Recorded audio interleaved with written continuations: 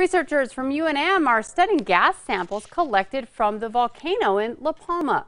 The volcano destroyed thousands of homes on the Canary Islands when it began erupting in September. In November, UNM's team flew a drone into the volcano's gas plume. They say their analysis will help predict future volcanic activity. The eruption in La Palma lasted for nearly three months.